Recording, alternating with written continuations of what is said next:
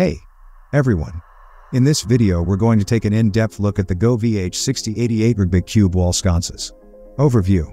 Mounting bracket. Power cable. Control box. Power button. Color button. Music mode button. Light. Specifications.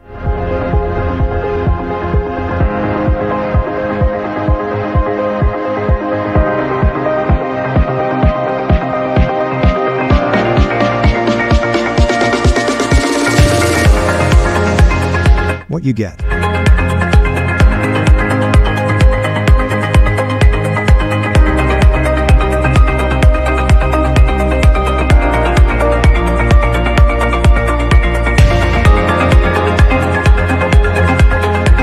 Installation steps. Clean the surface and ensure no dust or debris is on it. Determine the location of the power supply. Peel off the protective film of the adhesive tape. Stick the light base onto the wall and firmly press it for more than 15 seconds. Start installing from the light far from the power supply. Plug the cable from the second base into the input port and the cable goes through the core of the base into the output port. Disassembly steps. Unplug the device. Detach the lights from the bases. When detaching, Simultaneously press the plastic connector on the top of the power cable with your finger and pull the cable out. Pairing your device with Govee Home app. What you need, a Wi-Fi router that supports 2.4 GHz and 802.11 BGN bands, 5 GHz is not supported. Download the Govee Home app from the App Store, iOS devices, or Google Play, Android devices. Turn on the Bluetooth on your smartphone. Open the app, tap the plus icon in the top right corner and search for H6088. Tap the device icon and follow the on-screen instructions to complete the pairing. Controlling the device with your voice.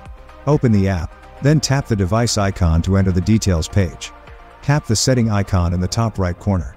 Select user guide and follow the on-screen instructions to control the device using your voice. Troubleshooting. Cannot connect to the Govee Home app. Check if the fixture light is powered on. Check if your smartphone's Bluetooth is enabled, or try connecting with another smartphone. When connecting for the first time, ensure the smartphone is near the light. If the connection error still exists, please delete the connected light from my device on the app. Reconnect to the Govee Home app by following the instructions provided previously. Wi-Fi disconnected or failed to connect. Do not skip connecting to Wi-Fi during the pairing process. Ensure your Wi-Fi router is 2.4 GHz capable 5 GHz is not supported. Ensure you enter the correct Wi-Fi password during the Wi-Fi connection process.